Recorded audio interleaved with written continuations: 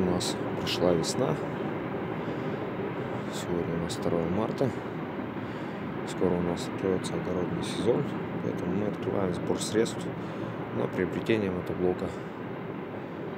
Если подписчики, знакомые, друзья, кто-то могут помочь, мы будем очень признательны за вашу помощь. Это номер карты будет указан как в описании к видео, так и в описании канала.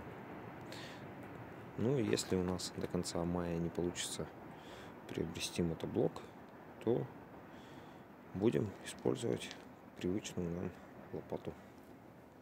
Всем спасибо.